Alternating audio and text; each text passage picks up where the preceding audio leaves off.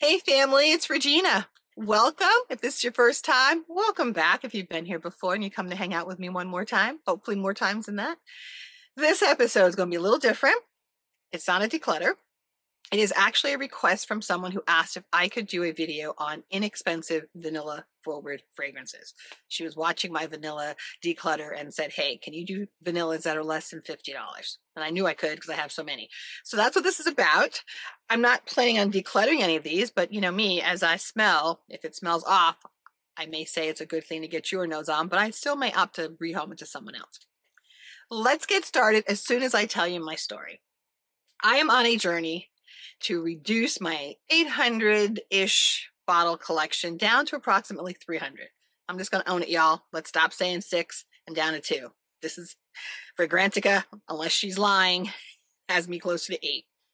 I am doing that under the direction of Spirit, who said I need to be here on social media. And that's what this is normally. If that sounds something you'd enjoy, please consider subscribing or at least consider coming back to watch. I'm glad to have you here. And as I like to say, welcome. All right, let's start out with everybody's favorite purchase at Target. And this is Mix Bar Vanilla Bourbon. I think when I bought these, they were $19.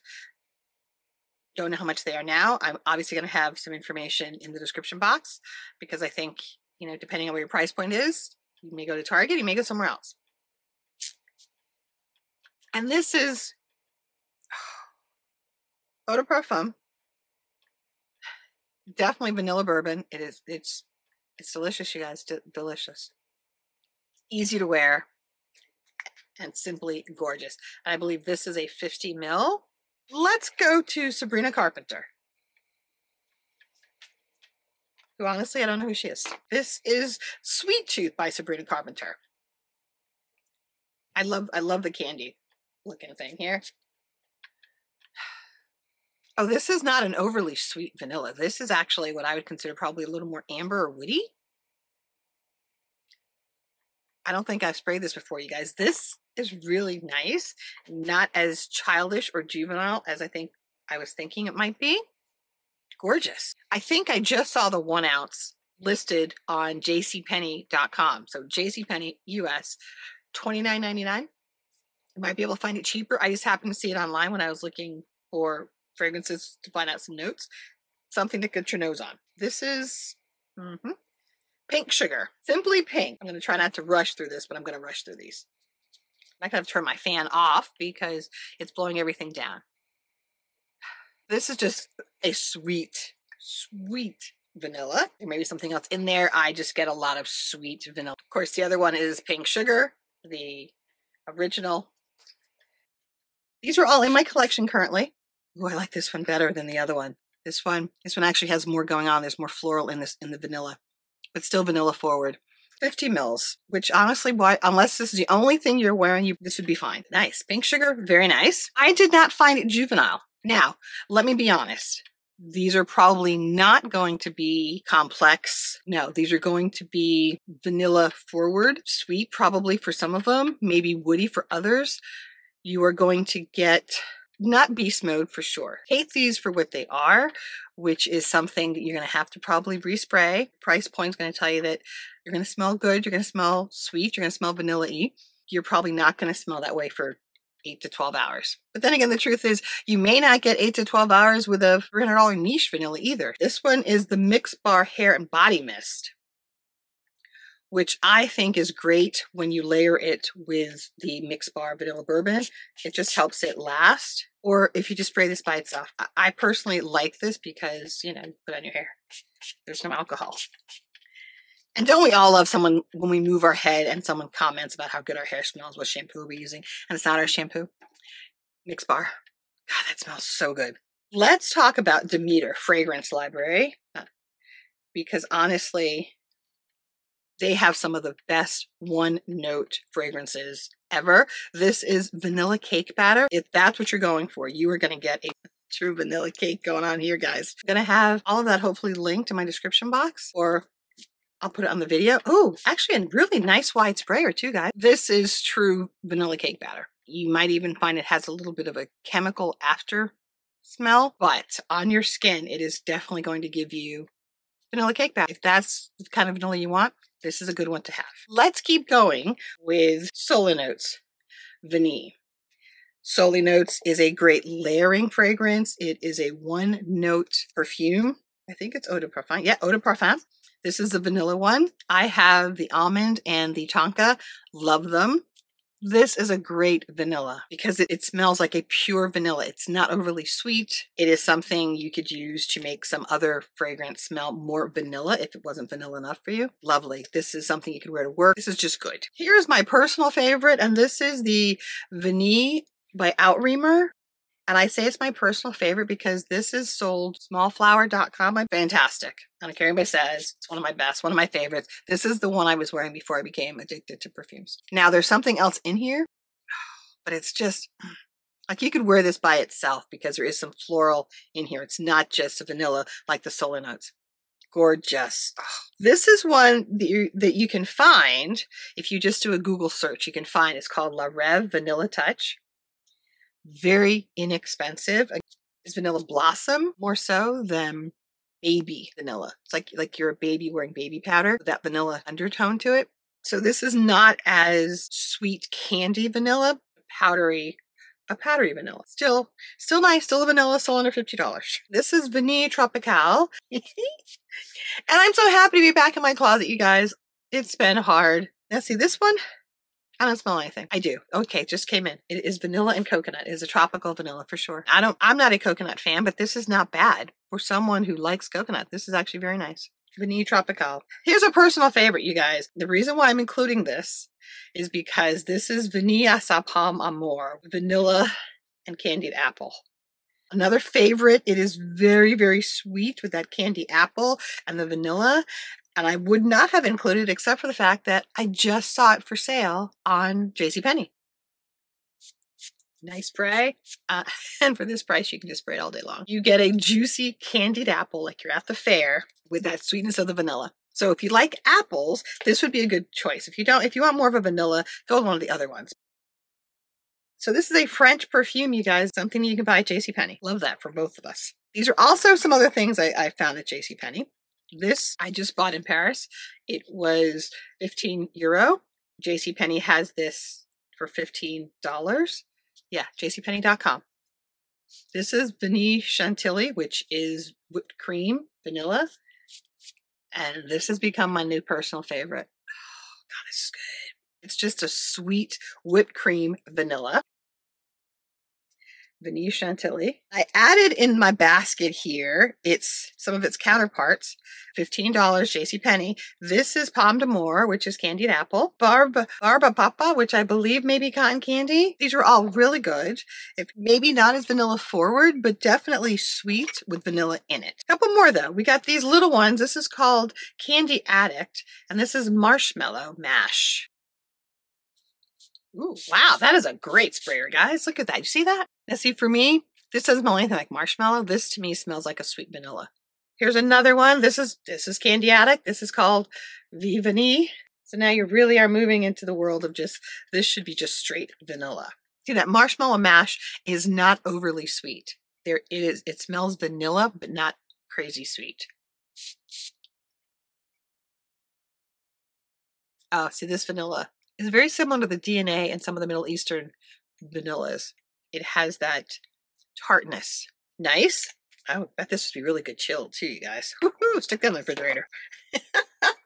Let's move into some things that might be a little bit more expensive, but are still still good. This is Molinard Vanille. I tell you, I have so many in my collection that pulling these out was easy. I just had to think about where the price point was. But this one looks lovely. It's French line. This to me is just a very, very, very light vanilla, almost to the point of where I really don't get much from it. But it is a it's a soft spring-like vanilla, not not overly sweet, not gourmandy. Very nice.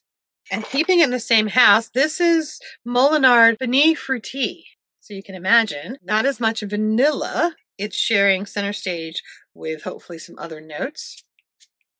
Ooh, see, I like this one. Vanilla's front forward. It's right there, but there's something else in there. Very nice. I'm looking forward to seeing what the what the price point is on this because I think you guys would want to want to get your nose on that one. That's very nice. We have two more that are not as sweet, but that are oldies and inexpensive. This one is Vanilla Musk by Coty. Surely you guys remember this, or maybe you were babies in diapers then. 80s maybe i forget but they still sell it this is a clean musk, a clean, a clean vanilla. This is not a sweet. This is nice. Definitely a clean musk vanilla. To me, this kind of smells a little bit like a cleaning product with some vanilla on it. If you don't want to smell gourmandy, you don't want to smell like food, you want something that may be a little cleaner, a little bit fresher, this one might be something to consider. Here's another oldie, Vanilla Fields. Yes, they still sell this, you guys. Oh, so this is nice. A clean vanilla. It is. It is definitely a little bit more woody. This doesn't have. It doesn't have like a cleaning product note to it to my nose. It's just a cleaner, which is why it's called. I'm thinking vanilla field because you are getting more of a fresh vanilla as opposed to a gourmand vanilla. All sorts of vanillas can work. It just depends on what you want to smell like that day, right? I like that one. That's very nice. One more, which I know I bought this at TJ Maxx, cashmere and vanilla by Indulgent Moments. Nice sprayer, actually. I believe this is. Oh, yeah, this is definitely vanilla. A little bit more like a man's aftershave, I think. Probably something still light, still a wear for sure. This is not a heavy scent, but maybe something. I don't know. This could actually work spring, summer. I was thinking with the cashmere, it might work better in the fall, but it is so light. I think you could do it. At least try it. See what you think doesn't work, you won't do it again. You'll be blowing people out. But this is not this is not a powerhouse, so I wouldn't I wouldn't be worried about blowing anybody out. I would think try and see what you think. Before I move into what I consider more fall fragrances, let me talk about the two that I had to include. We're talking niche. We are talking Theodoros Kalotinis 50 mil. This is velvet chocolate. And yes, this is a more chocolate chocolate bomb, but the vanilla is in there. I don't even need to spray it because this smells to me like a fudge brownie it was $45 when I, so I think they've gone up. Maybe they're 55. But if you want to move into niche and, and something that might be a little bit more potent, this might be where you want to go. You don't have to go higher than the $55. Now, he also has vanilla. I find this vanilla to be much lighter than the vanilla in the velvet chocolate. Understandable because that this is the primary note is vanilla. But this is still a baked product. This is still a gourmand vanilla. It is, it's a baked product of some sort. I wouldn't say a cupcake. It's definitely not a brownie like the other one is, but it is more maybe a cookie. Yeah, maybe like a like a cookie. But it's vanilla. So something to consider if that's where you really want to go. And before I move into my more fall fragrances, you guys, as I do this, let me talk about this one because this I know can be purchased online because I bought it. And this is called Vanilla Darling. It is a vanilla, inexpensive vanilla Ooh, this is sweet again. This smells like a fruit and vanilla. It all depends on what you want to smell like, guys. It really does. How much you really want to spend. Now, let's move into heavier vanillas that I think you should be smelling. This is my personal favorite. This is Spice and Black Vanilla Eau de Toilette by Cremo. And honestly, I believe this is marketed to men. I don't care. I think it was $15 on Amazon, $14.99. I love it. Absolutely love it. I have backups of it. Mm. Maybe it's not in the uh, maybe it's not in the spring. I don't know. Let me check. Oh no, it's still good. It's still good. It still has that spice, but then the vanilla is right there. So you can this could be considered unisex. Then my other another fa- personal favorite is the Zara Tobacco collection, which if you guys are familiar with that, you may know this one. Looks like that. Rich, warm, addictive. A fantastic fall scent for sure. Another personal favorite. This might be what people consider more leaning masculine. I did not find it that way because I'm so in love with it. This smells like uh, a Pepsi or Coca Cola. Smells like a cola. That vanilla is in there. The tobacco t- tobacco does not smell like tobacco to me. It definitely gives more a soda vibe. But it's so nice, particularly if you're wearing it in, in a cooler weather. Oh, so good. Next one is called Vanilla and Tobacco. This is spicy. The tobacco is asserting itself, but then when it dries down, you get that vanilla. Now, this one you may consider, again, unisex, depending on your nose. It may lean masculine, but for me, love it. And I don't even like spicy. I don't particularly like pepper in my sense, but this one, vanilla and tobacco. So the last one that I need to talk about, oh my God, is this one. This is Mercedes Benz Black, I believe is what it's called. And I'm not gonna lie, this is this is in the this is like 40 to $50. This is at the high end of the range. And this is marketed to men. Obviously, as you can tell by the ugly bottle. But oh my God. Just oh my God. They can market it to men all they want. I wear this. I love this. I have a couple of bottles of it. I never want to be without. This, I think people were initially trying to say that this might be a Babycat replacement, inexpensive. It's lighter than Babycat. It's, it's not as incensey. It's just gorgeous. So if you are trying to do something in the fall and you're wanting to smell vanilla get your nose on this. Vanilla incense. It's just so, so good. I'm sure there are others that you guys may know that I don't. So put them in the comments. I'm happy to find those and smell them. I didn't include any of my caramel scents, even though those are very heavily um, vanilla, but I wanted to focus on ones that really did seem to be more vanilla forward as opposed to like vanilla and caramel or vanilla and something else. And I did not include any Middle Easterns here because obviously so many of these Middle Eastern fragrances have vanilla and are fabulous. And I could talk about probably another 30 of those that are, that are vanilla forward. I wanted to focus on ones that I think are easily obtainable, can be ordered online, shipped to you. Thanks you guys for being here. Thank you for coming into my closet. I'm so happy back in here. I cannot wait to get it put back together so I can start on the declutter journey so you can make room for some of the ones that are sitting on the floor. yeah, they're on the floor. It's the, way, it's the way life is because I have to wear clothes and I have to wear shoes.